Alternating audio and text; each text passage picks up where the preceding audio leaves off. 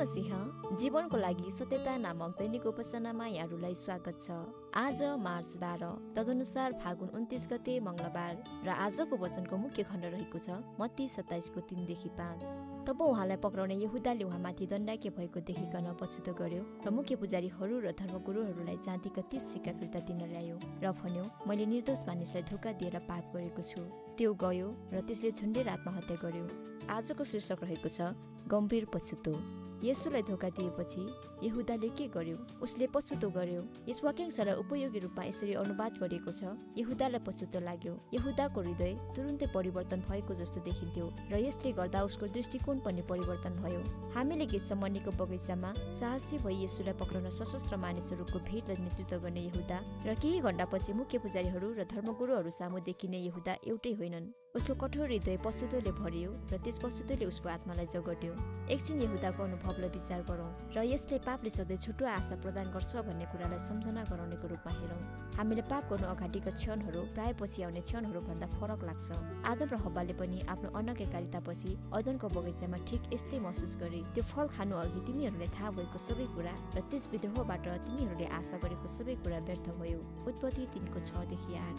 ठिक त्यसै गरी एक समय यसुलाई उहाँको शत्रुको हातमा सुम्पिनु यहुदालाई आकर्षक लागेको कुरा केही क्षणमै उसको निम्ति व्यर्थ भयो। जब हामी पाप गर्छौँ तब सम्पूर्ण मनमोहक नसालु प्रभावहरू अर्थात् हामीलाई विद्रोही बनाउने सबै कुरा एकै क्षणमा गायब हुन्छन्।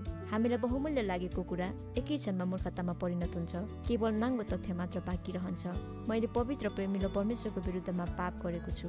यस्तो कठोर पशुतामा हामीसँग भएको छनौट भनेको हामी के पश्चाताप गरेर परमेश्वरसँग मिलापमा आउँछौँ कि त निराश भएर आफैले दण्ड दिन्छौँ?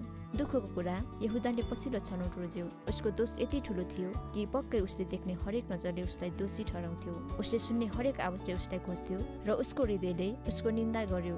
उसले मुख्य पुजारीलाई पैसा फिर्ता गरेर आफ्नो दोष कम गर्ने प्रयास त गर्यो तरै पनि त्यो फिर्ता गरेको पैसाले उसको हृदयको भार कम गर्न सकेन। अन्तत ऊ त्यागिएको र एक्लो महसुस गर्दै एक भयानक मृत्यु मर्यो सायद आज तपाईँले पनि पापको बोझले तपाईँको महसुस गरिरहनु भएको हुन सक्छ।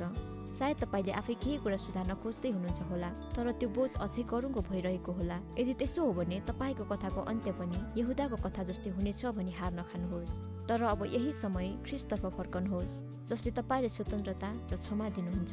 उहाँले सजिलो जुवा र हलुका भारी दिनुहुन्छ। मती एघारको अठाइसदेखि तिस। यसो यसैको निम्ति यहुदा जस्तै पापी विश्वासघातीहरूको उद्धारको लागि मर्नु भएको हो। अर्को पटक पापले हामीलाई उक्साउँदा हामीले यहुदाको उदाहरणलाई स्मरण गर्नुपर्छ।